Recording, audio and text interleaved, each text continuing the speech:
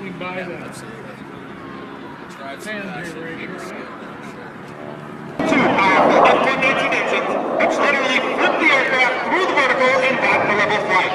Following the power loop, you will see the Raptor perform